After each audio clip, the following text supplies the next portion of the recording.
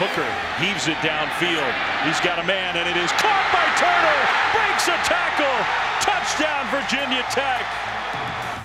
Wes Bryant here with Mike Niziolek of the Roanoke Times, talking a little Virginia Tech Hokies ACC storylines.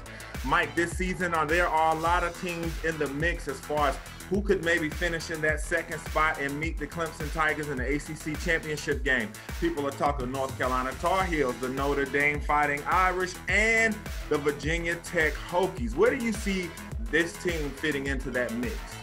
Well, before the schedule change, yeah, I thought they were they had a good kind of look. You know, you get Penn State early, and then you know you got the Coastal, uh, which is obviously down, you know, outside of North Carolina. But now, you, you take Georgia Tech out of there, you add Clemson. Uh, it, it, has the potential, I think, to be a little more challenging. Hendon Hooker doing a Bryce Perkins impersonation inside the five, touchdown. Now, Hendon Hooker at quarterback last year, he really came on really productive down the stretch. Does he look like he has that starting job on lock? And if so, how has his development been over this offseason? Hendon, who, like you said, put on some really good film last year, didn't turn the ball over, uh, really improved the running game with kind of the dual threat aspect of his game. I think his skill set is what the coaches like. Uh, Coach Fuente talks about expected outcomes, and that's what they got with Hendon Hooker. Continuity always important on the offensive line. You get all five of them back this year. Keshawn King in that running game, Khalil Herbert, the transfer coming over from Kansas. What can we expect from this running game? Will we get some improvement there?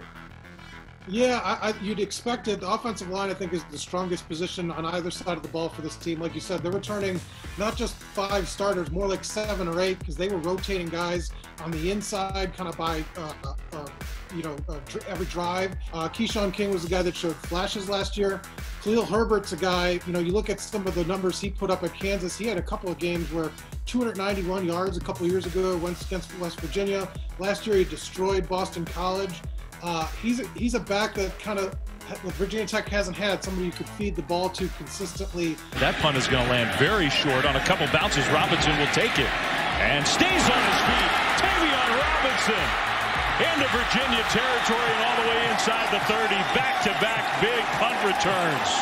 Tayvion, I think, is a guy we talk about where he might be the most dangerous as a punt return he got to do that for two games at the end of the year last year, and a really dynamic guy. Uh, I think you could be looking at him moving all around the field. I think he's going to take a step forward. He was just a true freshman last year and put up solid numbers. Tre Turner has all kind of the, the skill set to be, I think, you know, one of the top receivers in the ACC. Like he was trying to set up the screen, sack, fumbled, scoop, score, room service, Hokies.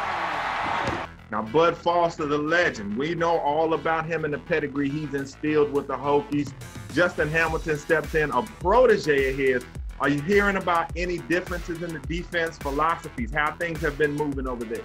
Uh, Bud was fine trying to get uh, guys that were a little smaller, get production and make them kind of uh, play at those positions. But uh, Justin Hamilton wants size. He wants guys that are going to be look a little more intimidating on the edge I think they've got it. Losing Caleb Farley, I think that that hole is going to be tough to fill. But I mean, they still have you know nine guys back that started last year, and that linebacking corps is as experienced as any in the ACC. What's the ceiling for this Virginia Tech team, and how can they get there? You know, if they finish with less than eight or nine wins, that's going to be a disappointment. So I think that's kind of where you look at. I, I mean, you know, 10, 10 wins is possible. Uh, and I think anything less than nine or eight, you're talking about a disappointing season. Obviously, we don't know with the coronavirus sort of hanging over everything, and but if they can stay healthy and things kind of go, they, they keep their team together. There's no reason this team can't be eight or nine win team and even flirt with ten wins.